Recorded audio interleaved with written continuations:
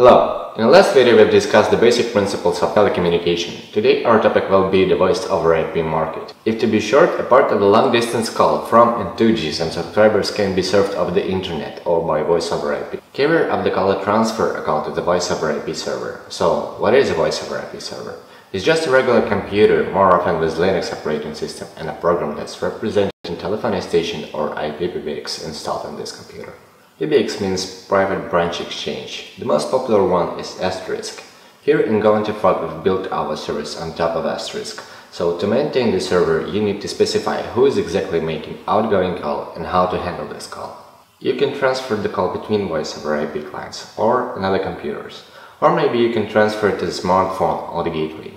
Gateway's job is to commute network types. For example, specified clients want to make an outgoing call to the GSM, so you need to transfer this call to the gateway, or if you don't have one, to another server that has a connected gateway.